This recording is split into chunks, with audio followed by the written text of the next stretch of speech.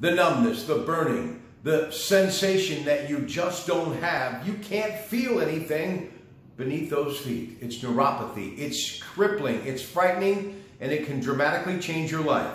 But getting dramatic results, helping people get their ing back, that living back, their life back, is Dr. Shawn Richey and the Neuropathy Treatment Centers of Pittsburgh. He's live and he's with me on Rob Pratte Tuesday night at 7 on Pittsburgh Works. There is hope.